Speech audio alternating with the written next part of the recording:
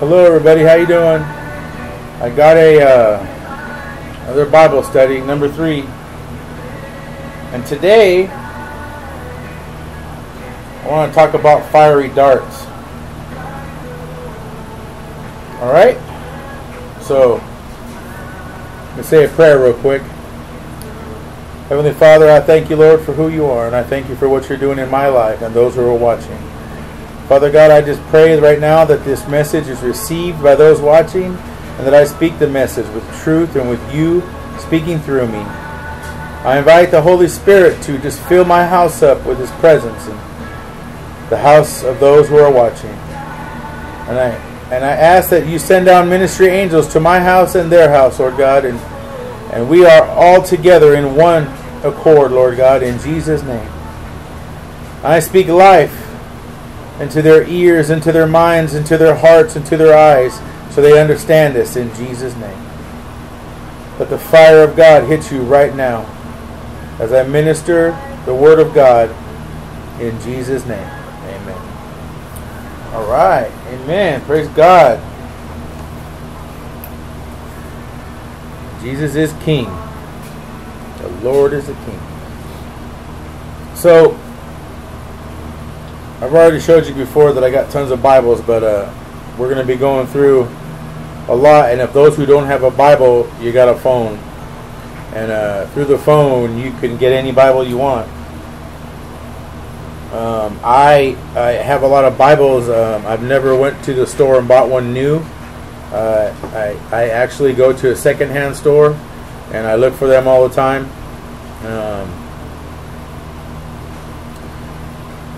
I've bought in a few and just handed them to people um, at the secondhand store. I pick them up for a dollar. You know, um, uh, some of them have no writing that are like brand new. Some of them have a little bit of writing, but I just look at it and decide if I could learn from it, then I'm going to get it. But uh, a dollar, maybe two dollars. So, anyways, that's how you can get a Bible. If you're in my area, come to my house. I'll give you one.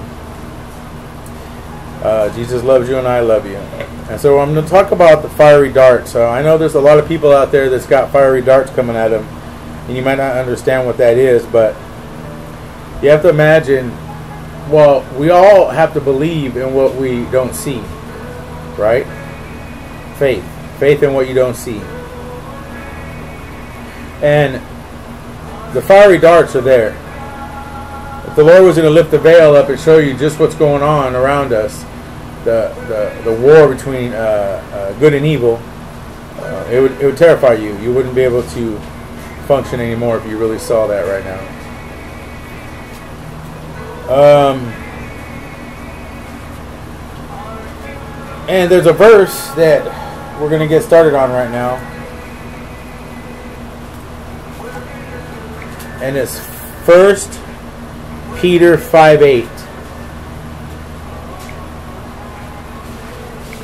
Okay, so you turn to your Bibles, 1 Peter 5 8, or Google it.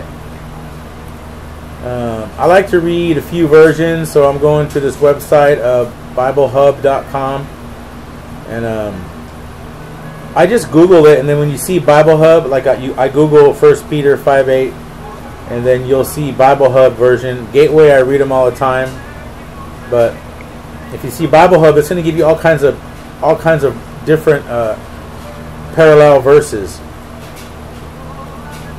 And that's how you can see it in different different uh, Bibles. So First Peter 5 8. And you can just look at 5 8 because the next one I have is 5 9. I didn't know they were together. But I'll just go First Peter 5 8. Now it says, Be alert and of sober mind. Your enemy, the devil, prowls around like a roaring lion looking for someone to devour. And that's NIV version, New International Version. So right there it says, Be alert and, be, and of sober mind. Your enemy, the devil, prowls around like a roaring lion looking for someone to devour. Let's um let's read it again in uh, another version. Okay, it says uh, in the New Living Translation, it says, Stay alert. Watch out for your great enemy, the devil. He prowls around like a roaring lion looking for someone to devour. Now, so basically, that's telling you that even though you might not see it, the devil is looking around like a lion ready to feast, prey on the prey, and, and devour it. The devil's all around, trying to attack and kill you. Basically, that's what it's saying. In the New English, in the English Standard Version, the ESV, it says, "Be sober-minded, be watchful, for your adversary, the devil, prowls around like a roaring lion, seeking someone to devour." The King James, "Be sober, be vigilant, because your adversary, the devil, as a roaring lion, walketh about, seeking whom he may devour." So the devil's around trying to look for someone to attack, someone to kill and destroy. That someone could be you, right? Or me. Now we'll go to 1 Peter 5 9. This is one down. It says, in the NIV, it says, resist him, standing firm in the faith, because you know that the family of believers throughout the world is undergoing the same suffering.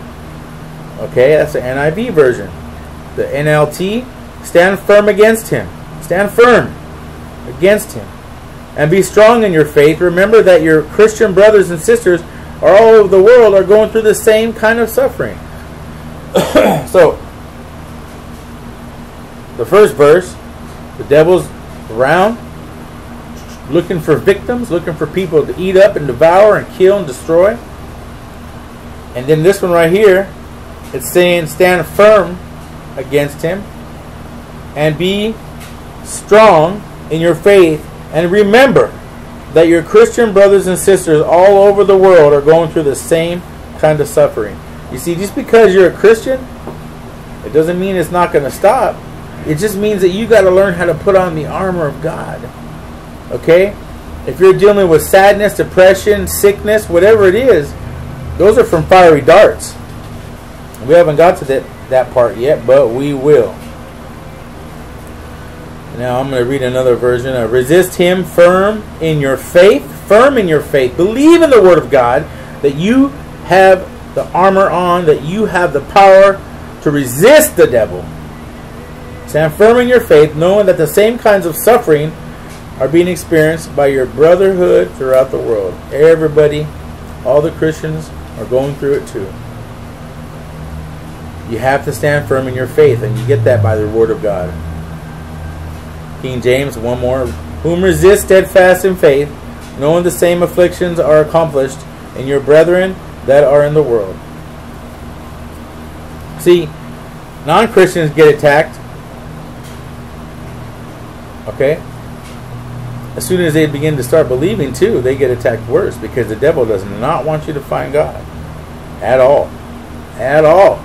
Because when you finally find God and understand the Word of God and believe in the Word of God and start ministering to others and making disciples and saving souls, that's his worst nightmare. That's how you get back at the devil.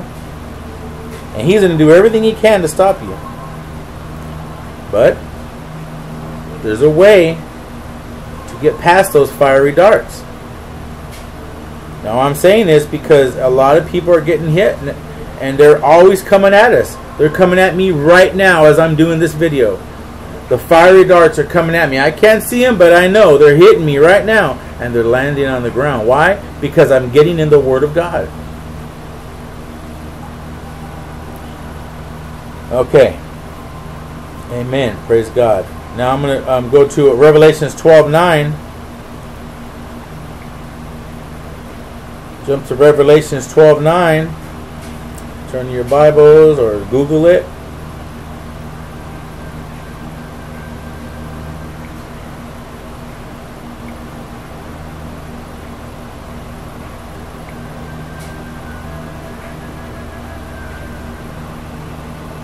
Amen. Praise God. Jesus is King.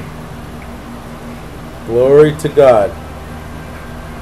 Revelation 12 9 says, The great dragon was hurled down, that ancient serpent called the devil or Satan who leads the world astray. He was hurled to the earth and his angels with him. So, that right there, I'll read another version. The NLT, that was the NIV. And the NLT, this great dragon, the ancient serpent called the devil or Satan, the one deceiving the world, was thrown down to the earth with all his angels. Okay, so the great dragon, the devil, the, the Satan, the one who deceives the world, the one who lies, the one who causes causes you to turn away from God because he gets you thinking that God's not real or or, or, or, or the word of God's not real. That's the deceiving devil. Don't let him get to you. He's put on the world with not only him but his dark angels. Right here in the English Standard Version, and the great dragon was thrown down, the ancient serpent who is called the devil Satan, the deceiver of the whole world, he was thrown down to the earth, and his angels were thrown down with him. So he's not alone. I mean, I, I mean, God has angels, and, and so so does the devil, and they're out, and there's a war going on right now around us, around me, right now, and there's fiery darts coming at me, okay, and they're coming at you and, and, and you're feeling them. You're feeling the sadness, the sickness, the depression, the, the anguish, the, the trials, and the storms in your life. You're feeling them. We're going to get to how to get rid of that too. James 4 7. Let's turn to James 4 7. Amen. James 4 7. Praise you, Father. Jesus is Lord. Jesus is Lord. Jesus is King.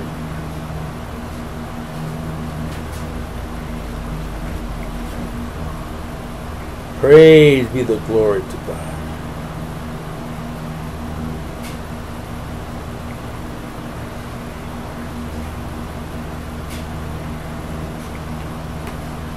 James 4 7. Here we go.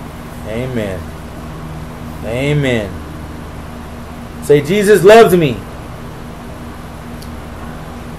Jesus loves me and I love Jesus. Say, Holy Spirit, come. Come, Holy Spirit. James 4 7, it says in the NIV version, Submit yourselves, then to God resist the devil, and he will flee from you. Amen. In the New LT translation,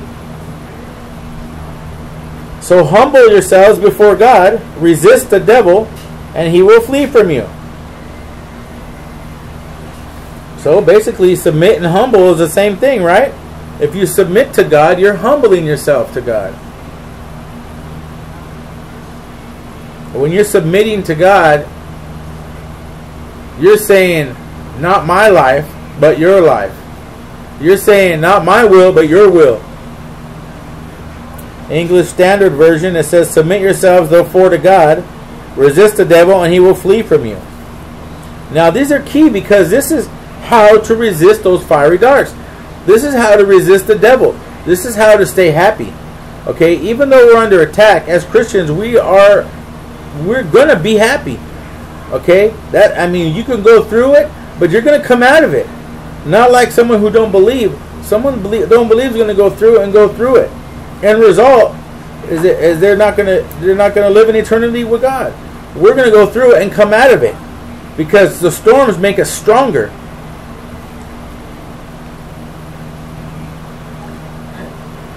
read one more. King James. Submit yourselves therefore to God, resist the devil, and he will flee from you. Submit yourself. Father, I belong to you. Jesus, I thank you for for dying on the cross for my sin so I can so I can have the Holy Spirit in me so I can go into eternity. I submit myself to you. I belong to you. I am a vessel of God. You know? Seek a relationship with God.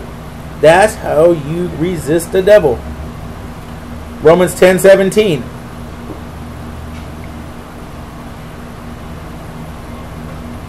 Go to Romans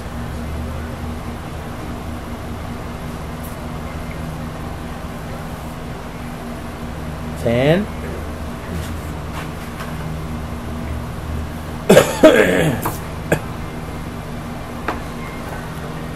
Ten. Romans 10, 17. Amen. Jesus is King. Say it. Jesus is King. And I belong to Jesus. I will love him. I will trust him. I will believe in his word. Jesus will get me out of my trials and get me through them always. Because I have faith in his word. Amen. Romans 10 17. In the NIV it says, Consequently, faith comes from hearing the message, and the message is heard through the word about Christ. Amen. New Living Translation. So faith comes from hearing. That is hearing the good news about Christ. Okay? Faith. Faith in what you don't see. Right? Faith in Jesus. Faith in the Word. The Word of God. If you have faith in it, you the devil a fly is not going to land on a hot plate. Okay, I heard this before from another pastor. It made sense. A fly is not going to land on a hot plate. Okay? So you get in the Word of God, you get on fire. You believe in the Word of God, you get on fire. You go out and minister and pray for people, you're on fire.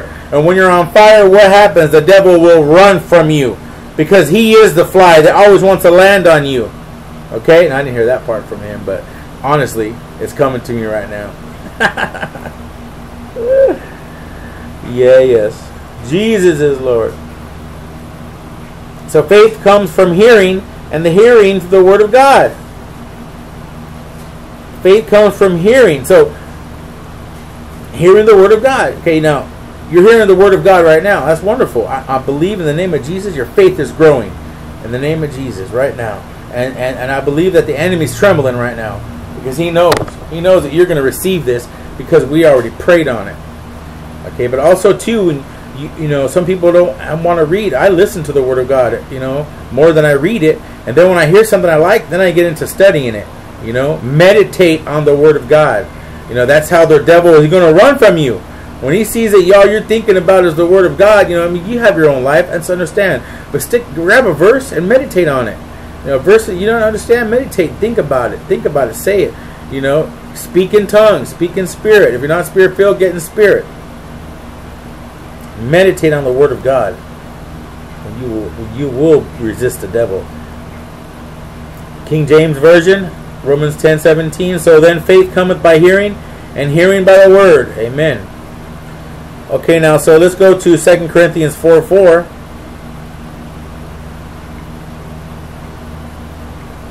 I'm going to try to make this real quick. Uh, 2 Corinthians.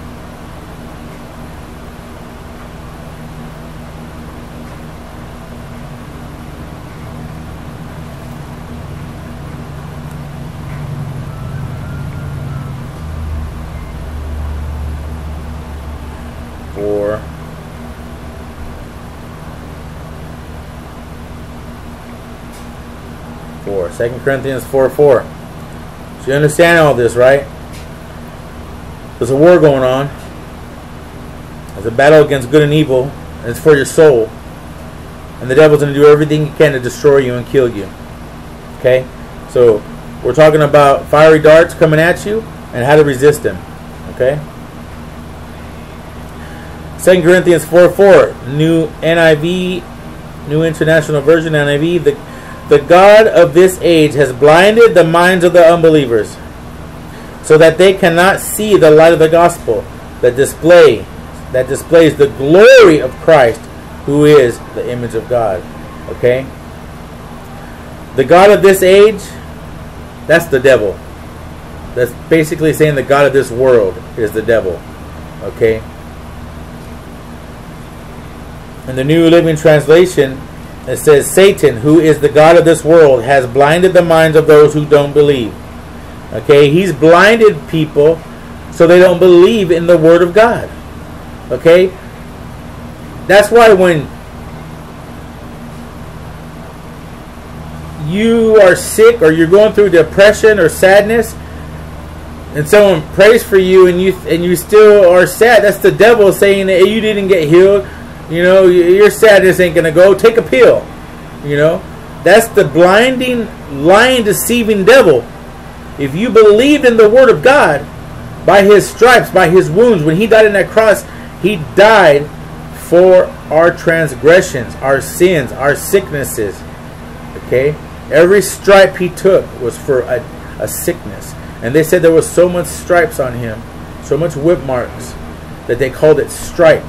Because the definition of stripes is many. But they're so close together, not, not even an inch apart. His body was filled with them. Filled with them. He, he was unrecognizable as a man. Yeah, he did that for us. And for that, we are healed. And we got to believe it. We got to believe it. English Standard Version, 2 Corinthians 4 4.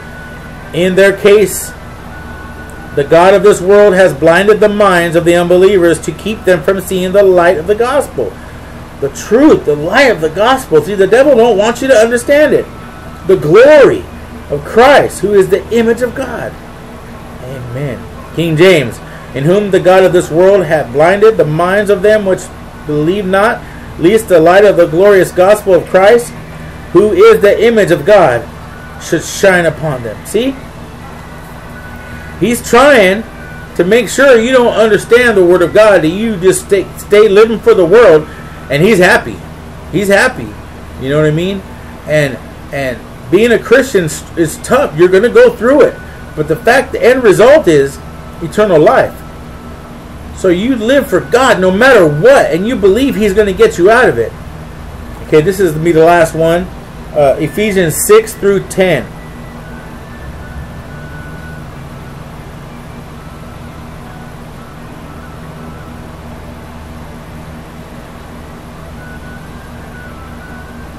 Ephesians 6 10 through 18. I'm sorry. Now, I'm not going to do this in a bunch of verses. Let's see here, because I understand it already. But I might just go to uh, the Amplified Version to kind of explain it to you a little better. Okay, so this is a longer Bible study, but it's all right. Okay,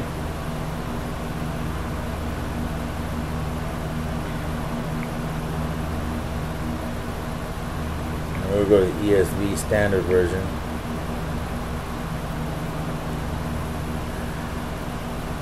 Now, the whole armor of God, Ephesians 6 10 through 18. Finally, be strong in the Lord and in the strength of his might. Be strong in the Lord. How do you do that? By doing the will of God, by meditating on his word, by submitting and obeying to him. The more you do it, the more He'll speak to you, the more He'll teach you, the more the Holy Spirit will train you to be a, a good servant of God. Put on the whole armor of God. Are you listening? Put on the whole armor of God that you may be able to stand against the schemes of the devil. Put on the whole armor of God so you can withstand the schemes, the attacks of the devil. For we do not wrestle against flesh and blood, but against the rulers against the authorities, against the cosmic powers over this present darkness, against the spiritual forces of evil in the heavenly places. Okay, there's a spirit realm, you know, good and evil, a big, a big, a big fight going on. Like I told you, we're not wrestling with man. We're fighting evil spirits. And how do you fight evil spirits? By getting in the Word of God by putting on your armor. Therefore, take up the whole armor of God, not just a little bit. Don't just put on a, a shield. No, you got a lot to put on. You ever seen those knights in shining armor? That's what he's talking about. The whole armor of God, that you may be able to withstand the evil day. And having done all, and stand firm. You put on that armor of God, and when you get attacked, when it's all over with, you're standing right there waiting for round two, three, or four because you got your armor on and you know that you will win through Christ Jesus. Jesus is King. Amen? Amen. Stand therefore, having fastened on the belt of truth, that's part of the armor, the belt of truth, and have having put on the breastplate, the breastplate right here, the breastplate. Okay, the breastplate, the armor is perfect, but you know what? When you start getting attacked in your organs, an arrow hits your organs, right? If you have your breastplate on, the arrow is going to bounce off and not hit your organs. You know, heart disease, uh, uh, kidney disease, uh, lung cancer, um, um, everything. You need that breastplate on. Sorrow, sadness, anger, rage, all emotions in your heart, in your soul, in your body. Put on the breastplate of breastplate of righteousness, and the shoes for your feet, the armor, the shoes, having put on the readiness given by the gospel of peace. The gospel is the word of God. In all circumstances, take up the shield of faith. Amen. The shield. The shield. The shield will protect you. All the armor of God. You need it. Not just one, but all of it. And which you can ex- extinguish all the flaming darts. There you go. In all circumstances, take up the shield of faith in which you can extinguish, put out, extinguish all the flaming darts of the evil one and take the helmet of salvation. There's a helmet of salvation. And the sword of the Spirit. There's a sword, which the Word of God, which is the Word of God. You have everything you need in the Word of God to fight the enemy. If you believe and have faith and pray, and worship, and get in the Word, meditate in the Word. Meditate on this verse. Ephesians 6, 10, 18. And the ones I told you earlier, meditate on them. 18 praying at all times in spirit. There it is. Pray in spirit. Uh, speak the speak in tongues. And if you want some help, call me up, and we can we can work on that with you, because that's important. Praying spirit. Um, there's times where I'm being attacked in my sleep, and right away I have a a CPAP BiPAP mask on, and with my mask on, I'm praying in tongues in the middle of the night. Lord, help me go to sleep. Get away from me, enemy. Get away from my family. Get out of my house. You know, sometimes he'll sneak past the angels that are I pray for protection every day, and he'll attack me, and then I'll pray in tongues, and he's gone. I'll go right to sleep. With all prayer and supplication. Praying at all times in spirit, with all prayer and supplication. All prayer. Even out of spirit. Even not in tongues. Pray all the prayers. That so that and so that and keep alert with all perseverance, making supplication for all saints. Amen. Okay, now uh, I'm just gonna.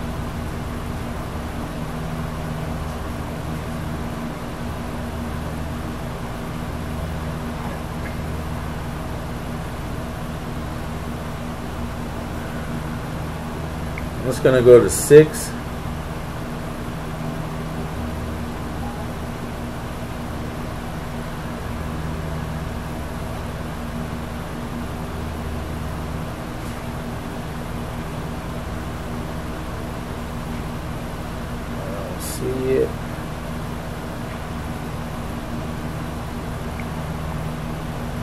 The Amplified version has a little more detail, so I'm just going to go to 616 we'll call it quits from there.